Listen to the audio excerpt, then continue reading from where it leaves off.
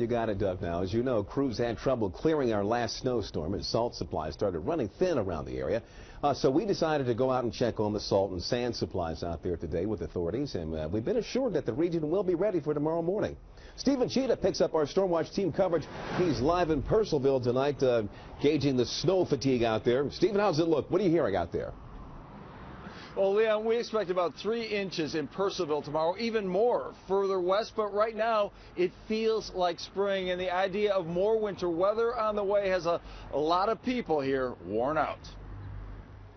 Life goes on as usual in Leesburg, even though another winter storm looms on the horizon. I'm a little tired of it.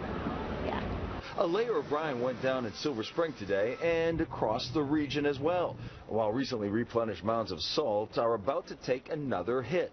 Maintenance crews, which thought they finally finished with snow removal, are preparing to battle another blast. I was hoping to get my uh, equipment ready for uh, grass mowing. While plows wait to hit the roads, winter-weary people expressed frustration. As far as I'm concerned, like, winter should end on January 2nd. Not this year.